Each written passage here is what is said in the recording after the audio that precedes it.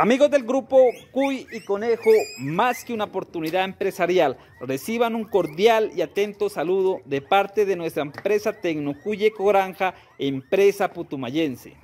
Sean ustedes bienvenidos a este video donde vamos a aprender una técnica que nos permitirá evaluar aquellos ejemplares que nos toca a veces comprar necesariamente para refrescar sangre en nuestra unidad productiva aquellos que vamos a utilizar para futuros reproductores. Estos animales deben cumplir una mínima condición y es importante que esa condición nosotros la conozcamos. No vamos a tener en cuenta lo que nos dice nuestro proveedor, sino que nosotros en campo, en nuestra unidad productiva, la vamos a poner a prueba y la vamos a evaluar. Si estos ejemplares que hemos comprado no cumplen esta mínima condición, no los vamos a utilizar como reproductores. En videos anteriores hemos hablado y he sido muy reiterativo la importancia y los cuidados que debemos de tener a la hora de comprar ejemplares destinados para futuros reproductores de comprar en sitios confiables. ¿sí? Esta regla, así compremos en sitios confiables, vamos a hacerla. ¿sí? sí o sí, y si queremos mejorar nuestro pie de cría, tenemos que realizar esta prueba. Así compremos en sitios confiables. El por qué se debe realizar esta prueba si estoy comprando animales en sitios confiables. Miren, muchas veces, no hay un porcentaje, no hay literatura sobre esto, pero muchas veces en gran número de ocasiones cuando se compran, cuando se compran ejemplares, estos están por debajo del nivel, del nivel genético nuestro. En otras palabras, nuestros animales son superiores a lo que estamos comprando para mejorar lo nuestro. Entonces, lo mínimo que debemos saber es si esos animales que estamos comprando son mejores o no que los que nosotros tenemos en granja. Eso es lo mínimo que debemos saber a la hora de la compra de estos ejemplares. Lo ideal, yo tengo unos videos que llaman tics de mejoramiento genético, parte 1, 2, 3, 4, son mis primeros videos muy corticos, eh, los pueden ir a ver. Lo ideal es hacer ese proceso en granja, ¿sí? pero muchas ocasiones nos toca salir por fuera a comprar para refrescar sangre en nuestra unidad productiva. Por fuerza debemos comprar eh, reproductores. ¿no? Y muchas veces al vendedor solamente le interesa la venta, más no que nuestra unidad mm, productiva mejore. Entonces es la necesidad de sí o sí hacer la siguiente prueba. La presente prueba nos permitirá evaluar velocidad de crecimiento, conversión alimenticia, temperamento y si quisiéramos rendimiento de canal. Velocidad de crecimiento, cuántos gramos ganan al día, ¿sí? ¿Cuántos gramos ganan al día? Conversión, ¿sí?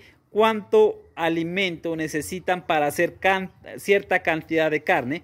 con cuántos kilos de concentrado y pasto yo hago un kilo de carne de cuy, ¿sí? Rendimiento de canal, cuánto peso me queda el canal, que es lo que se comercializa, cuánto peso me queda después del beneficio, después de retirar pelo y viscerado, cuánto me queda y temperamento, ¿sí? ¿Qué animales son más tranquilos que otros? Eso influye mucho eh, sobre los aspectos productivos y los aspectos reproductivos.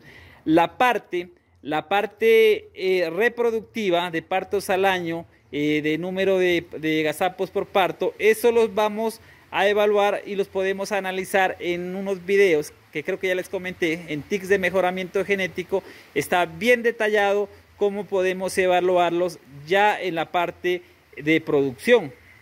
Una vez conozcamos velocidad de crecimiento, conversión, rendimiento de canal, temperamento, los vamos a comparar versus lo que tenemos en granja, lo que nosotros tenemos. Después de evaluar si mi genética es superior o es inferior, vamos a tomar la decisión de llevarlos a producción o no. Bienvenidos, vamos a aprender el paso a paso para realizar la siguiente prueba. Ya durante el proceso de la compra, ¿sí? Es importante que los futuros ejemplares que compremos para futuros reproductores en mi granja sean animales gazapos o animales de, destetos, como en un rango entre 15 y 20 días, ¿sí? Debemos comprar los pequeños, jamás, nunca vamos a comprar animales listos para el empadre, ¿sí? animales adultos, porque desconocemos todo sobre sus aspectos productivos y sus aspectos reproductivos. ¿Sí? Desconocemos todo. Entonces, por lo menos nosotros podemos poder observar esas mínimas condiciones de las que ya venimos hablando en nuestra granja. Se deben comprar gazapos, ¿sí? Se deben comprar gazapos. Y como mínimo, como mínimo compremos cinco futuros reproductores, ¿sí? Como mínimo compremos cinco para aumentar las posibilidades de éxito dentro de nuestra unidad productiva. Para realizar una correcta evaluación de los ejemplares que compramos como reproductores que llegan a fortalecer nuestro programa de reproducción, es necesario que adecuemos dentro de nuestras instalaciones una jaula con comedero compartido. ¿Sí? Necesitamos obligatoriamente una jaula con comedero compartido. No se vale eh, jaulas por separado. Tiene que ser jaula con comedero compartido. Una vez tengamos adecuada la jaula con comedero compartido, que el fin es que los eh, ejemplares que van a estar dentro de las jaulas. Eh, tengan acceso a la misma calidad y cantidad de forraje. ¿Listo? Una vez tengan ese, ese comedero compartido, eh, como segundo paso, necesitamos dos comederos, preferiblemente tipo tolva como estos, ¿sí? Y vamos a pensar eh, una cantidad de concentrado igual para cada comedero en cada jaula, que ambos tengan la misma cantidad de alimento. En este caso tengo 5 kilos en este comedor y 5 kilos en el, en el siguiente comedor. Como tercer paso, para los 5 ejemplares que acabamos de comprar para reemplazo y refrescar sangre en mi unidad productiva, es importante que nosotros conozcamos como mínimo el peso de ellos, el peso y la edad. Entonces es importante que consigamos una pesita y tomemos el peso. Como cuarto punto, una vez conociendo el peso y una edad aproximada de nuestros ejemplares que hemos comprado como futuros reproductores, vamos a tomar de nuestro pie de cría, de los animales nuestros, de los que ya tenemos en granja, con los que venimos trabajando, vamos a tomar una muestra, cantidad de número igual, igual número de animales, mismo sexo, un peso aproximado a los animales que compramos, ¿sí? Y una edad aproximada a los animales que compramos.